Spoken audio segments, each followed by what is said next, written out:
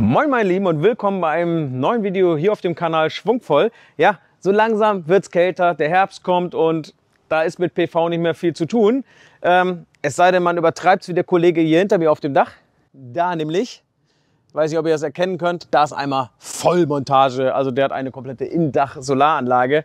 Ähm, ja, die meisten von euch haben aber eben auch, weil sie noch kein Solar haben, so etwas wie da oben am Dach. Und das sind einfach Balkonkraftwerke. Nichts anderes. Es ist hier kein Balkon, sondern es ist ein Garagendach, aber vom Prinzip her anmeldefrei und ähm, nur einmal registrieren im Marktstammdatenregister und dann ein Speicher dran. Ja, und zu diesem Thema möchte ich mit euch heute was ganz Interessantes machen, denn wenn im Winter wenig Sonne da ist, ist auch der Speicher meistens nicht voll. Und viele haben dann auch schon Angst, hm, Tiefentladung und so weiter. Und da hat Sendur jetzt gesagt, hey, da haben wir was, denn wir machen unseren Speicher im Prinzip bidirektional. Und wie das geht, das zeige ich euch. Nach dem Intro geht's sofort los.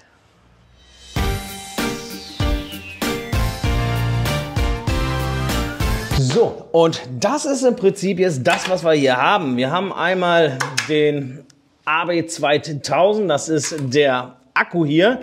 Und wir haben den Hyper 2000 hier, das ist der MPP-Trecker. Den zeige ich euch mal eben von Sendur.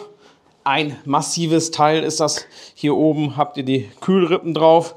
Ähm, der wiegt wirklich einiges. Im Prinzip sonst hier eine kleine LED-Lichtleiste. Sehen wir später nochmal Ein- und Ausschalter. Auf der anderen Seite habt ihr dann einmal den Netzanschluss für die Steckdose natürlich. Und hier seht ihr es schon, den MPP-Trecker, sprich die Anschlüsse für die Solarmodule. Der MPP-Trecker ist natürlich integriert. Und ja, hier an der Seite habt ihr nur noch mal eben so ein paar Anschlüsse. Ja, das Ganze kann hier eine Eingangsleistung von 1800 Watt ab, ähm, über jeweils 900 Watt pro MPPT und ähm, kann tatsächlich auch eine Output-Leistung von bis 1200 Watt abgeben. Nicht natürlich in Deutschland, hier ist das reglementiert auf 800 Watt, aber es geht. Das Ganze ist Plug and Play, also hochmassiv.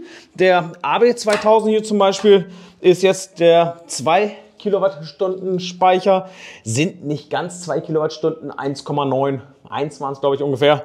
Ähm, ist auch maximal massiv. Seht ihr hier, ist wirklich komplettes Metallgehäuse. Den weht es nicht weg. Hier, die Griffe sind sehr massiv. Ihr hört das gerade hier. Und ja, ähm, ja, Stacking, also das Aufeinanderstapeln. Ihr entfernt einfach die Gummihülle, dann kommt der Hyper 2000 oben drauf und das war's dann auch schon. Ja?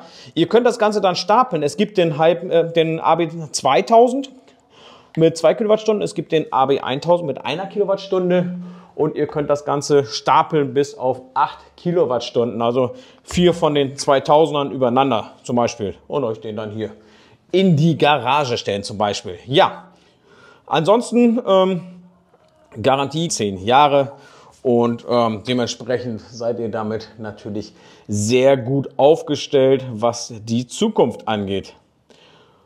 Okay, ich würde sagen, stecken wir das Ganze mal eben zusammen und dann zeige ich euch mal eben, wie das installationstechnisch geht und wie das mit der Bidirektionalität geht. Weil nämlich in den Hyper 2000, da geht es nicht nur mit maximal 1200 Watt raus, es geht da sogar mit 1200 Watt wieder rein.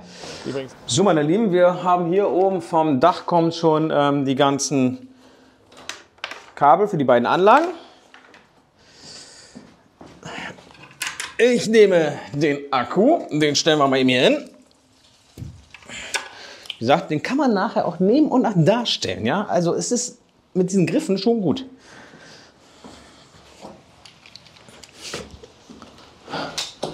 Den Sendur Hyper 2000. Ne? So, jetzt äh, entferne ich hier die Gummikappe hier und ihr müsst hier hinten müsst ihr diese Kappe entfernen, damit ähm, dementsprechend das jetzt aufeinander gestapelt werden kann. So.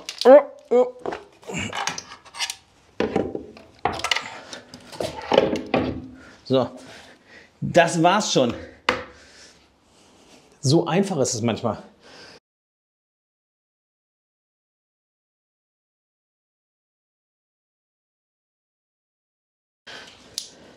Falls ihr zwei Module habt, ne, nehmt bitte ähm, das so, dass ihr einmal den einen MPP-Trecker hier nehmt, so, rechte Seite, und einmal die linke Seite, so, hat einfach den Vorteil, dass wenn aus irgendwelchen Grund euch eins der beiden Module ausfällt, wegfällt, dass nicht die ganze Anlage da nicht mehr läuft, sondern dass ihr dementsprechend immer noch über die halbe Solarleistung mit Strom versorgt werdet. So, und ansonsten ist das jetzt ja Plug and Play, das kennt ihr sicherlich.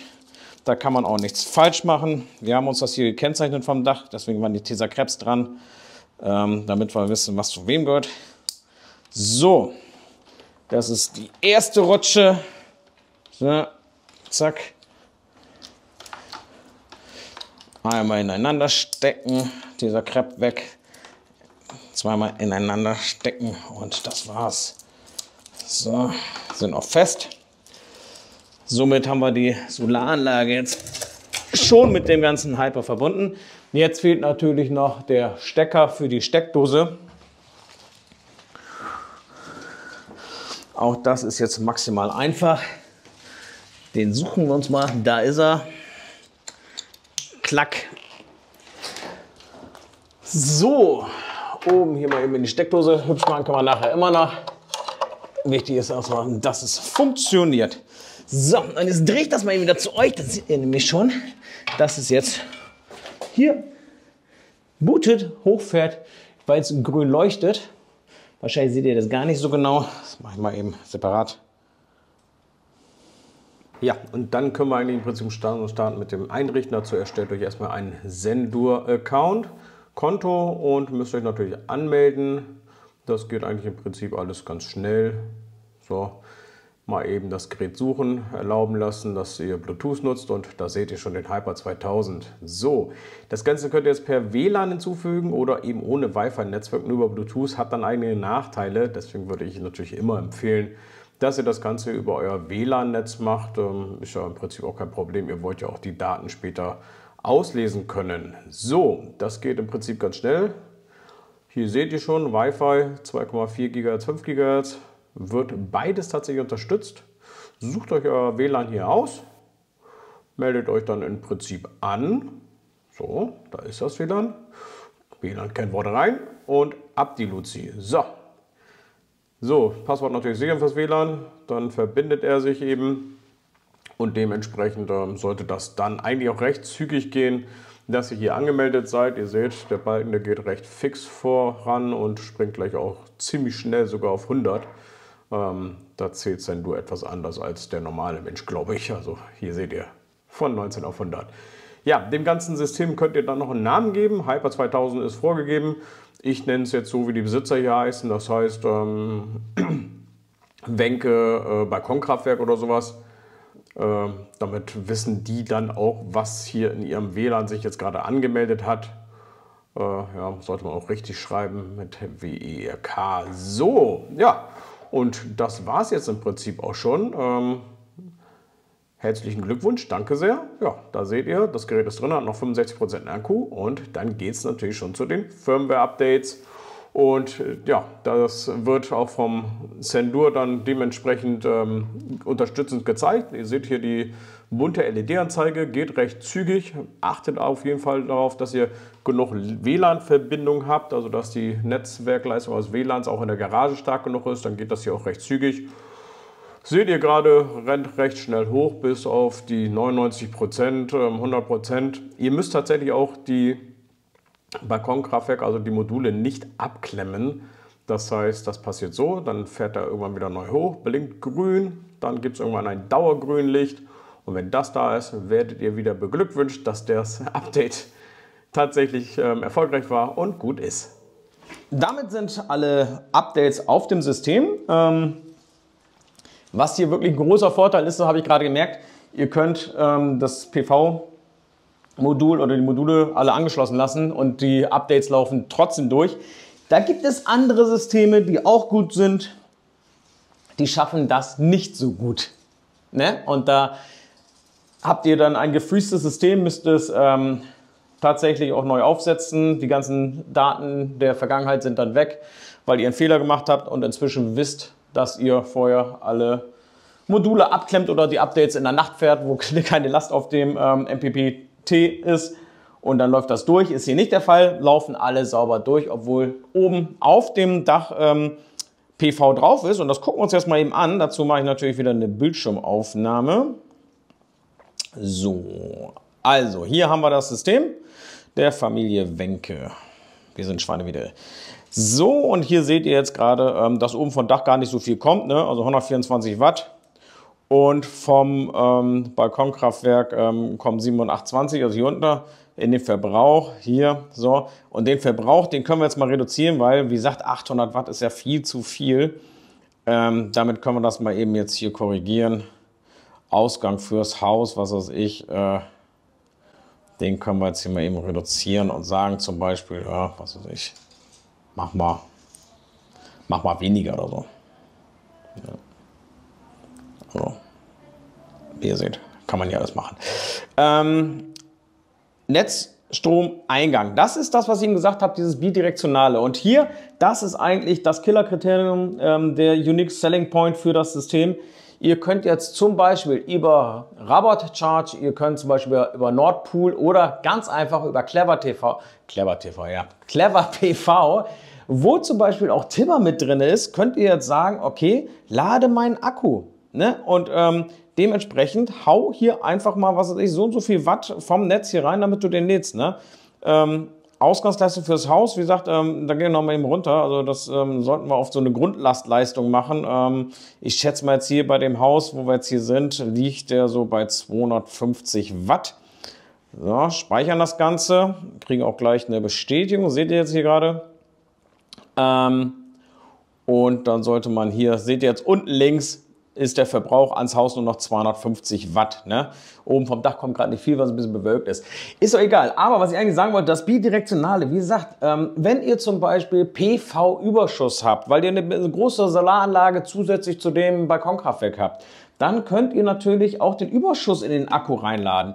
Ihr könnt aber auch über die ähm, dynamischen Strompreise von Tibber dann auch zum Beispiel den Strom aus der Nacht, wenn es besonders günstig ist oder wenn es windig ist oder whatever. Ihr seht das ja bei Tipper, wann der Strom günstig ist. Dann haut ihn euch in den Akku, habt ihr später mehr, wenn es wieder teurer wird. Total geiles System, mag ich richtig gerne und finde ich ist wirklich tatsächlich ein unique Selling Point für dieses ähm, Sendur-System. Ne? Also kann man nichts sagen. Und für die Menschen, die jetzt zum Beispiel, jetzt habe ich hier die Hausleistung auf 250 Watt geschätzt, weil ich es nicht weiß.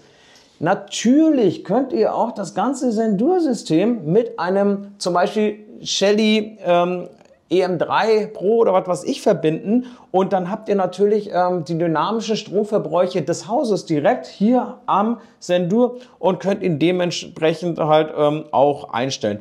Hier zum Beispiel auch ähm, könnt ihr eine zeitliche Steuerung haben ähm, für den Energieplan und da unten habt ihr das, was ich gerade gesagt habe. Ihr könnt zum Beispiel intelligent ähm, das Ganze gestalten. Ne? Also da müsst ihr hier reingehen und dann ähm, habt ihr zum Beispiel die Möglichkeit mit intelligenten Steckdosen oder mit zum Beispiel dem Shelly Pro 3M oder hier sowas, seht ihr beim Smart CT unten, könnt ihr dementsprechend ähm, hier was machen. Ähm, ihr könnt hier aber auch Strompreise, hier zum Beispiel Rabat Energy, ne, ähm, wird gleich beworben, ähm, könnt ihr dann hier einstellen, okay, wann ist der Strompreis günstig, ne? hoher Preis, Zielpreis, niedriger Preis. Es sind so viele Optionen und jetzt setze ich mich einfach mal hier drauf, weil das ist so stabil und es ist viel bequemer, ähm, die ihr hier tatsächlich machen könnt. Ne? Das finde ich schon sehr, sehr geil.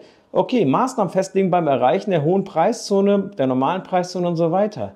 Also für die Nerds unter euch habt ihr so viel tolle Möglichkeiten, hier einfach was zu machen. Und damit finde ich, ist das Endur ein wirklich sehr geiles System.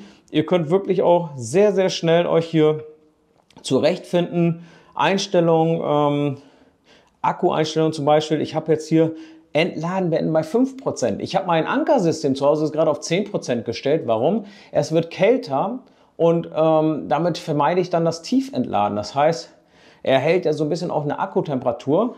Brauche ich hier nicht, weil er natürlich auch bidirektional den Strom wieder reinspeist und so verhindert, dass die Batterie tief entladen wird. Also besser geht es tatsächlich gar nicht. Ne? Unten hier zum Beispiel, hier habt ihr noch Anweisung zur regelmäßigen automatischen Batteriekalibrierung. Das System führt wöchentlich oder monatlich eine Kalibrierung, Kalibrierung der Batteriekapazität, vollständig geladen, vollständig entladen durch, um genaue Daten sicherzustellen. Finde ich wirklich hervorragend, muss man ganz ehrlich sagen. Ähm, also von daher ein sehr, sehr ausgewogenes System.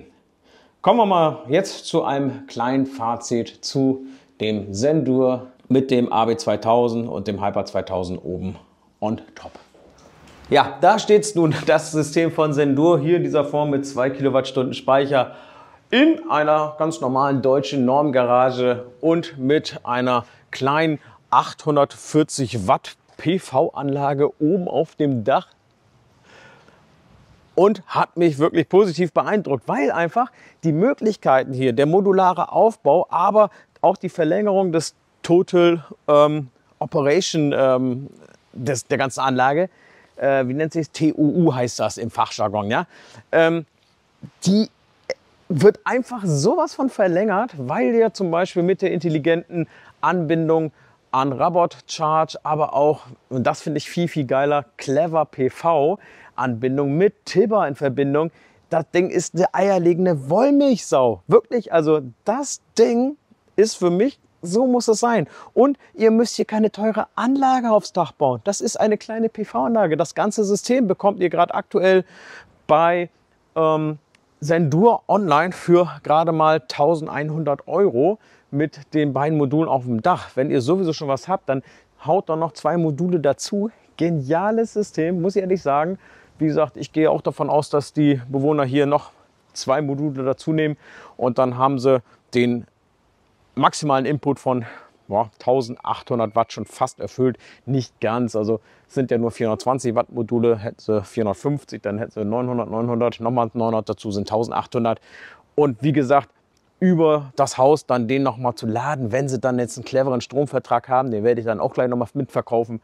Aber sonst, Junge, ein robustes System, also wirklich, die Dinger wiegen wirklich eine Tonne gefühlt, also haben wirklich ordentlich Gewicht, sind ähm, schön galvanisiertes ähm, Gehäuse aus Metall, Plug and Play, easy App, total schnell einzurichten so soll es gehen. Wie gesagt, ich bin tatsächlich wirklich begeistert auch von meinem System zu Hause, aber das Endure-System hier, was ich gerade aufgebaut habe, da muss ich schon ehrlich sagen, also da machen die sehr, sehr, sehr viel richtig. Ähm, optisch auch schön. Und dementsprechend, also ihr macht damit nichts falsch. Und wie gesagt, wenn ihr wirklich Menschen seid, die heute auch schon dynamische Stromtarife nutzt, ich kann es bei mir in der Mietswohnung leider noch nicht. Ich warte noch auf den Zähler und hoffe dann, dass es bald geht. Aber für solche Anwendungsfälle ist das natürlich ideal. Und wie gesagt, von mir eine ganz klare Empfehlung. Also in diesem Sinne, falls ihr noch Fragen habt, gerne in die Kommentare damit. Und ansonsten feel free und nutzt die Sonne, Kinders. Bis dann. Ciao.